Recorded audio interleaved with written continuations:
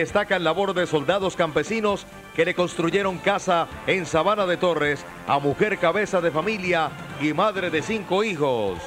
Una elogiable labor adelantaron los soldados campesinos de Santander al construirle una casa a una mujer madre de cinco hijos que reside en Sabana de Torres. La obra se logró gracias a donaciones conseguidas por los militares.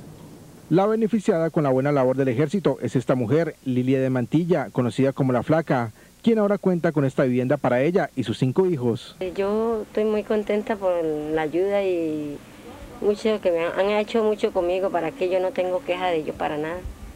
Le agradezco todo lo que han hecho por mí. Una necesidad sentida de eh, varias familias, especialmente que viven en, en extrema pobreza en el municipio de Sabana de Torres, eh, se hicieron algunos estudios en las zonas más vulnerables de Sabana y se, dio con una familia de, escasos recursos, de escasísimos recursos económicos, eh, casi que viviendo en, términos de pobreza extrema. La construcción de la vivienda fue adelantada por los soldados campesinos del batallón Luciano de Luyer, quienes consiguieron los materiales y sin cobrar un solo peso, ellos pusieron la mano de obra. Una teletón de materiales de construcción en donde se vinculan varias entidades eh, y liderada por el ejército, eh, la parroquia de Sabana de Torres y la red Unidos, en donde se recolectan todos estos materiales y se inicia con la construcción de la casa, con mano de obra de nuestros soldados. A las 6 de la mañana ellos se ponen a pegar ladrillo o a veces la tubería,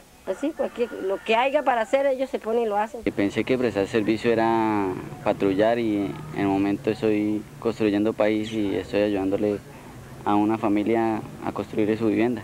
La iniciativa nace de los soldados campesinos, quienes prestan su servicio a la patria, pero no solo defendiéndola, sino realizando obras sociales como esta.